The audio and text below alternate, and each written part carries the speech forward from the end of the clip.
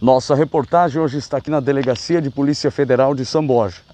Nós vamos conversar com o delegado Márcio Matias, chefe da Polícia Federal aqui do município, para a gente entender o caso daqueles trabalhadores que foram resgatados no interior do município, abandonados, foram contratados para um trabalho e foram abandonados ao Deus dará, como a gente diz no ditado popular, no interior do município. O delegado Márcio vai explicar para a gente, em detalhes, o que de fato aconteceu. Obviamente, o que ele pode falar para não atrapalhar também a investigação, mas a gente vai entender melhor esse caso na nossa reportagem de hoje.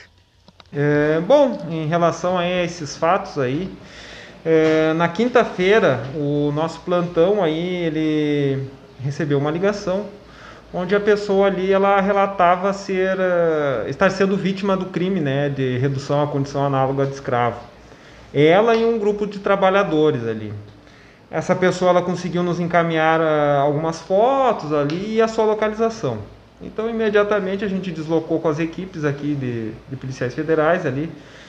É na região ali, eu não conheço muito bem aqui a, a nossa, ainda não me não me ambientei a conhecer todas as localidades, mas seria ali direção a São Mateus, ali, aquela para aquela para Acesso a BR 285 ali. Né? E acesso BR 285 ali.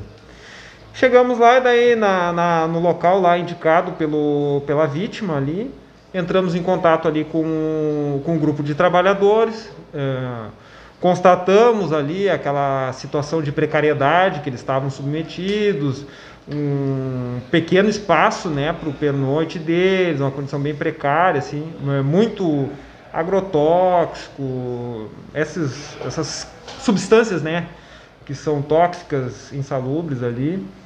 Fizemos também o contato ali com o responsável da granja e tudo mais, ele nos, nos repassou a situação. E, então, diante desses fatos ali, a gente encaminhou todos esses trabalhadores aqui para a delegacia, ouvimos todos eles, e contamos muito com a, com a parceria da assistência social aqui de São Borja, aí, que recebeu essas pessoas no albergue ali e depois providenciou o retorno deles ali para a cidade de Cacequi, né? Então, o que que, o que que eles nos passaram ali, né, na verdade? Eles, ah, é, houve um anúncio, uma proposta de emprego colocada nesses grupos né, de Facebook, e onde ficou a proposta era nos seguintes moldes, né? É, ia ser fornecida alimentação, um alojamento e uma diária aí no valor de 130 reais. E não era mencionada a questão do trabalho com veneno, né?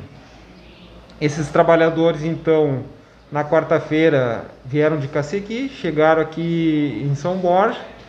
Inicialmente ficaram numa granja, ficaram o dia inteiro esperando e não foi dado né, o, o trabalho para eles.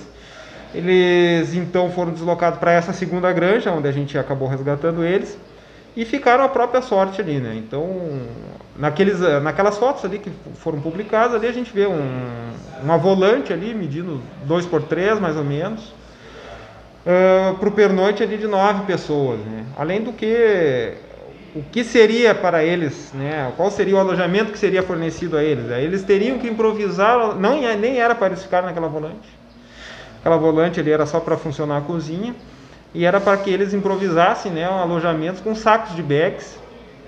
Ou seja, eles foram trazidos para trabalhar, mas eles que se virassem, como é que vão sobreviver? Né? Exatamente, né? essa questão. A proposta não correspondeu né, aos fatos ali.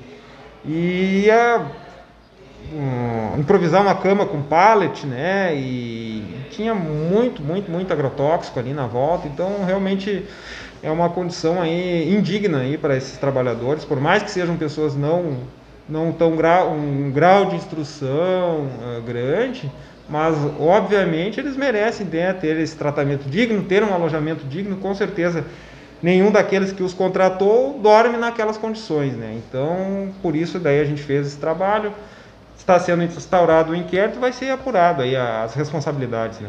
Bom, delegado, para a gente entender, agora foi instalado o inquérito, é óbvio que nomes a gente não vai falar, até para não atrapalhar a investigação, isso, e as pessoas sabem como é que funciona.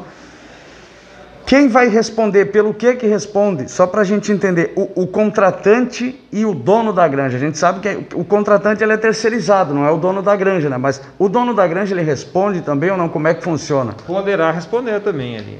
Ele é solidário ao, é solidário ao caso. Ali, exatamente. Tem uh, o núcleo do artigo 149A, que trata do aliciamento de trabalhadores ali.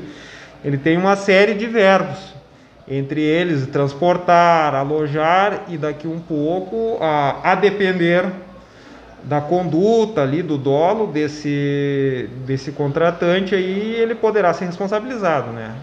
Então nessa fase a gente está numa fase incipiente, né? Vai ter que ouvir mais pessoas e tudo mais, né? Mas ele poderá, poderá ser responsabilizado. E esse rapaz da, terceirizado, que ele já é conhecido pelos comentários que a gente vê, por esse tipo de, de situação que ele coloca os trabalhadores.